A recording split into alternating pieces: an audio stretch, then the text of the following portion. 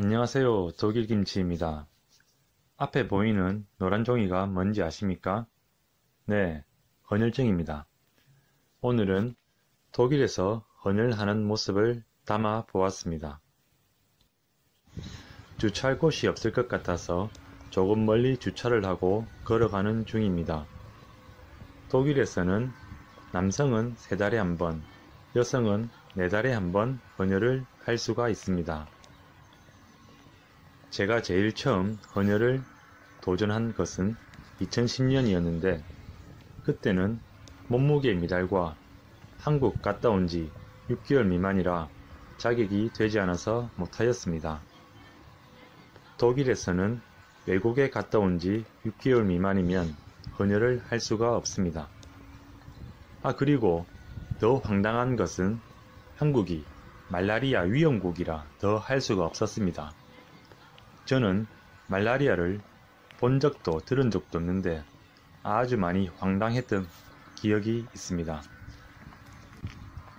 그로부터 10년 후 이곳 시골에서 다시 시도를 하였는데 그때도 말라리아 때문에 못할 뻔했는데 이라크에서 온 의사 선생님께서 피 검사를 하고 괜찮으면 해도 된다 하여서 지금 이렇게 헌혈을 하러 가는 중입니다.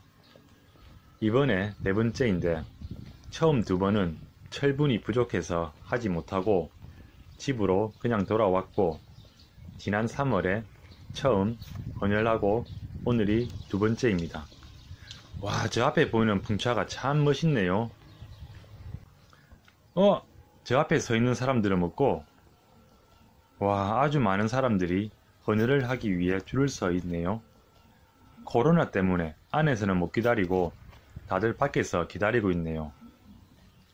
근데 헌혈이 뭐라고 이렇게 많은 사람들이 긴 줄 속에서 인내심을 가지고 기다리고 있는 걸까요?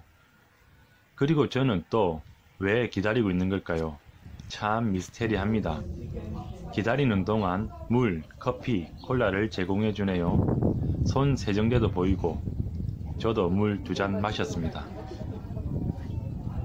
한 50분 정도 기다리고 드디어 안으로 들어갔습니다. 먼저 헌혈증을 보여주고 철분 함량 여부 체크를 합니다. 두 번 튕긴 전과가 있어서 많이 긴장되었습니다. 튕기면 밖에서 기다린 50분이 너무 억울하잖아요. 와 다행히 커트라인인 13.5를 넘어 15.1이 나왔네요. 일단 안심. 그 다음 열 체크하고 체크 서류를 받아들고 복도로 나왔습니다.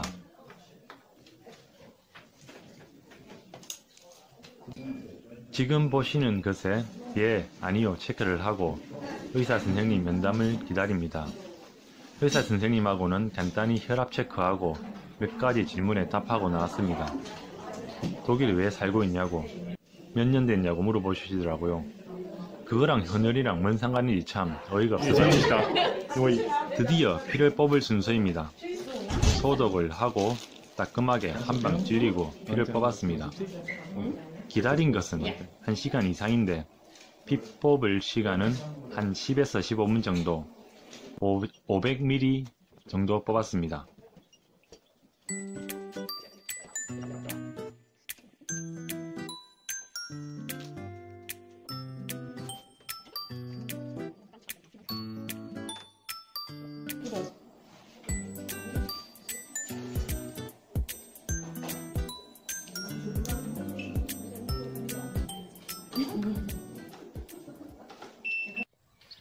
원래는 피 붓고 거기에서 간단히 먹고 마실 수 있는데 지금은 코로나 때문에 안에서 먹지는 못하고 보시는 것과 같이 선물 보따리를 받아서 왔습니다.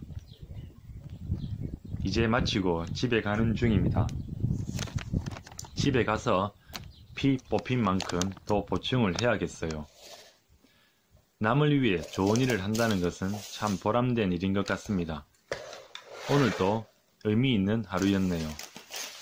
시청해 주셔서 감사합니다.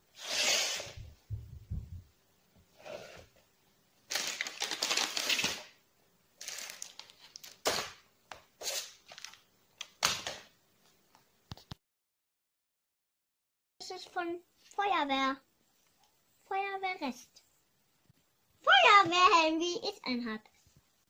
Schläuche, ein paar Absperrung und so weiter. Und ein paar Rauchwolken. Guck mal, es brennt. Tatü, tata.